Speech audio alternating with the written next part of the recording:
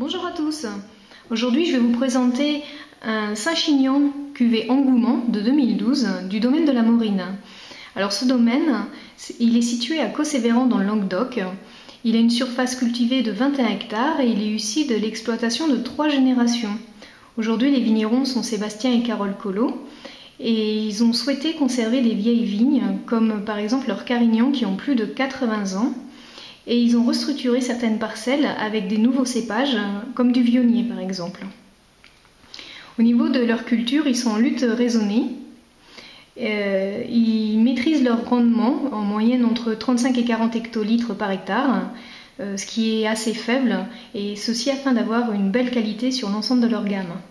Ils récoltent leur production à la main, ils font des vendangers grappés, et leur vinification euh, est traditionnelle pour l'ensemble de la gamme. Ils font une presse directe sur leur rosé et leur blanc, et ils font tout ça dans une vieille cave de 1890. Au niveau de ce Saint-Chinion, on peut le regarder de plus près. Donc c'est une bouteille euh, très sobre, très classe, très moderne, très très jolie. On voit donc l'appellation sur le côté.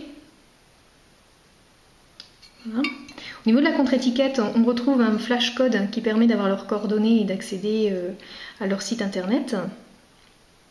C'est un vin qui fait 14 degrés 5. Je ne sais pas si la caméra va vouloir faire le point.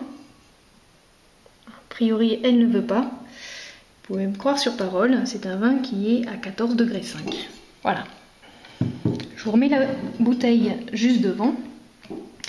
Donc euh, il possède, comme vous le voyez, une belle robe rouge, pourpre, très intense. Au niveau du nez, c'est des arômes de petits fruits rouges, de chocolat noir. C'est une bouche qui est ronde, pleine, très fruitée, très fruitée, pardon.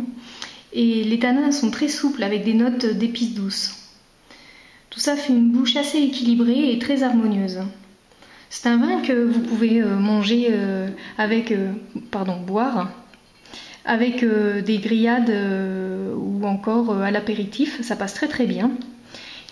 Au niveau des cépages, il y a 50% Syrah et 50% Grenache. Alors le rendement, c'est 35 hectolitres l'hectare. Hein, donc c'est quand même très très faible. Donc ça permet d'avoir une belle qualité sur cette cuvée. La vendange est manuelle. Et au niveau des récompenses récentes, ils ont eu la note de 14,5 sur 20 euh, au nouveau talent dans, le guide des meilleurs vins euh, à moins de 20 euros. Donc euh, c'est une belle note.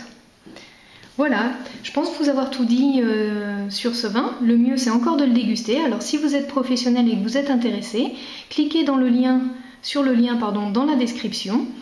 Et surtout, n'oubliez pas d'aimer cette vidéo et de vous abonner pour avoir les nouvelles vidéos au plus rapide. Merci pour tout et à bientôt